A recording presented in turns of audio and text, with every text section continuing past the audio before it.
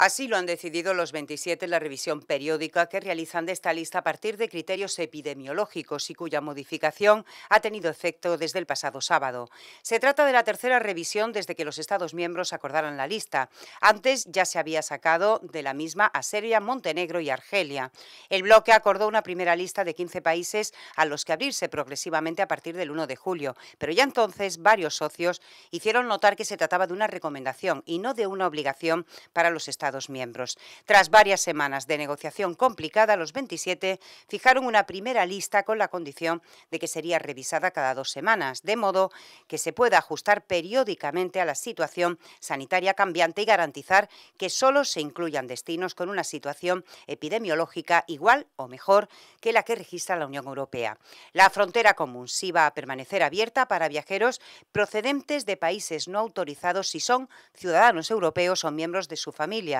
residentes de larga estancia en la Unión Europea y sus familias o personas con funciones o necesidades esenciales, como por ejemplo personal sanitario.